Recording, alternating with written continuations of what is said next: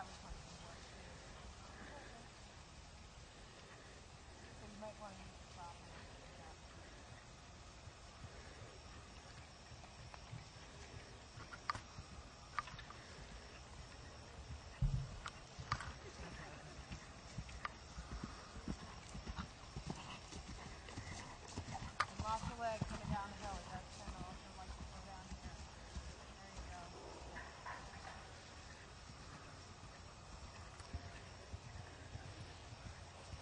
We'd taken it. Ann had taken two ponies, and I'd taken this one mare down to this place, and Jacqueline said, "Well, I just should quit my job and start getting up your full-time vet and trainer."